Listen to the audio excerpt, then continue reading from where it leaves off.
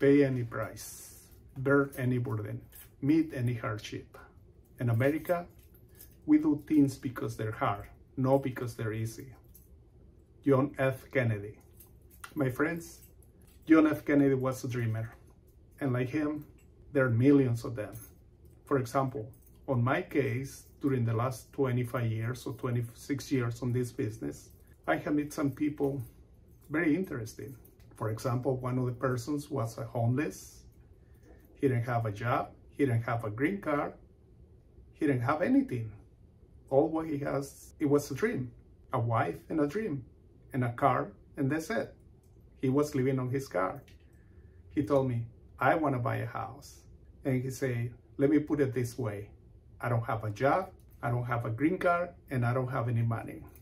And I said, well, I appreciate your honesty. But if you want to do something, there is always a way.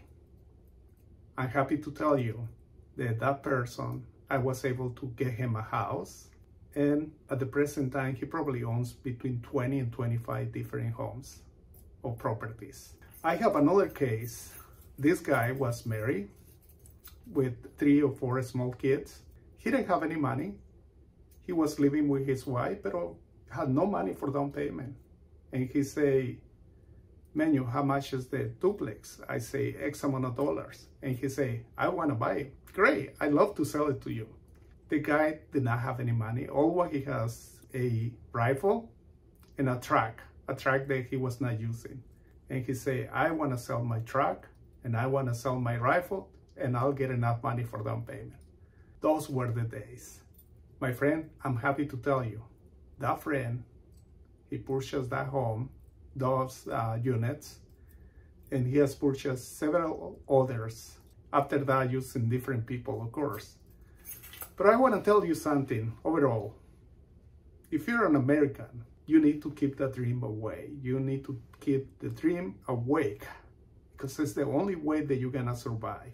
This is very hard work very hard job and it's hard to do things when they're difficult. I know. John F. Kennedy says so we do things because they're hard, not because they're easy. So my question for you is, are you a dreamer? Are you willing to take a challenge? Are you willing to get involved in purchasing a home, selling a home? If that's the case, call me. I would love to help you. And uh, another great speaker, Anthony Robbins says, what kind of actions you're gonna take today that's gonna make your future greater? Thank you. This is Manuel Ruelas. Have a nice day. Bye.